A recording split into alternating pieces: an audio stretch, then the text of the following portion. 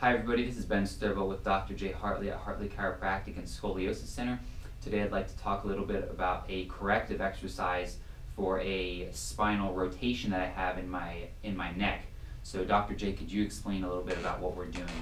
Sure. On Ben's x-ray, he has a right C2 spinous. So if you look at the x-ray, you'll see that the, the posterior spinous process on C2 is rotated to the right. And that's an indication of ligaments that may have been stretched at some point and there's instability. It could be from birth trauma, um, falling the head as a kid, different things like that. So um, we, when we see this on an x-ray, we do a very specific adjustment for it. And we also do a very specific exercise. So C2 is very important. It's related to your sinuses. Your upper cervical spine, occiput C1 and C2 have to do with your immune system. They can have to do with headaches, can be referred pain.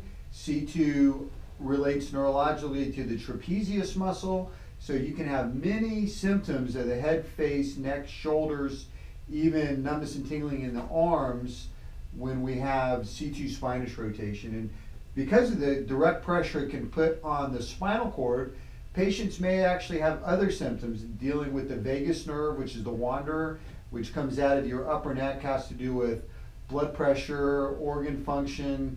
And if you also have lower back misalignments, the pressure on the spinal cord here can contribute to that as well.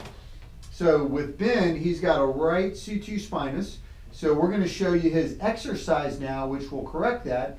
And we actually did an x-ray of him doing the exercise so you can, it demonstrates how the correction is done. And we do this with our patients to ensure that we're doing the right exercise to making the correction. So Ben, go ahead and show them the C2 spinous exercise. So while he does this exercise, he's stabilizing his head. He's trying to turn his head to the left. And when he does that, the rotation of the right C2 spinous comes out of there.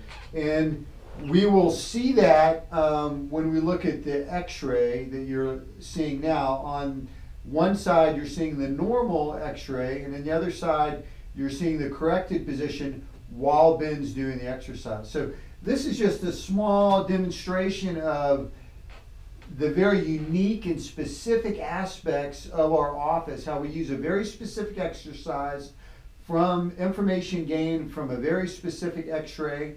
The adjustment is also done in this very specific nature. So it's a very unique way of correcting the spine making sure that it's correcting, gives you home care to do, um, so that you can continue to correct this on your own. Okay. Thank you very much, Dr. J. This was Ben Sturbo and Dr. J. Hartley at Hartley Chiropractic and Scoliosis Center. For more information, visit drjhartley.com uh, to schedule an appointment and subscribe to our YouTube channel.